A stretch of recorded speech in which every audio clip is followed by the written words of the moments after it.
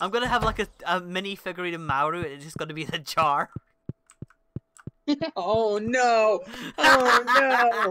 Oh no! Do, do, do you want to know something? I, I- no! do, you- no!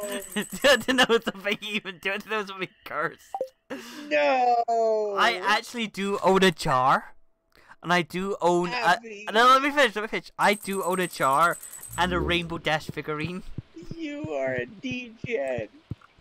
I haven't done anything with it, but just for shits and giggles, sometimes I just place it in the jar and take a photograph, just to oh, traumatize oh, no. people.